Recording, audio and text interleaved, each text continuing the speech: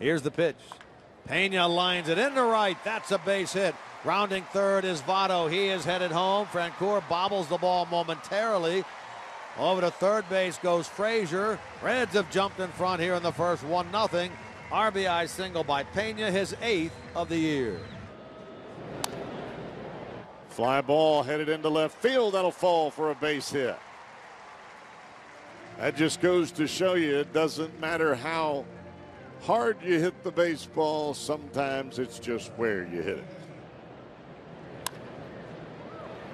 Here's a bouncing ball, goes up the middle, and a base hit for Brayan Pena. So the Reds catcher who started the day at 287, three for three here today. 2 0 pitch. Right back up the middle into center field. Here comes Frazier. Here comes the throw from Herrera. Not in time. Down to second goes Pena, and it is 5 to 2 Reds. Four hits on the day for Brayan Pena.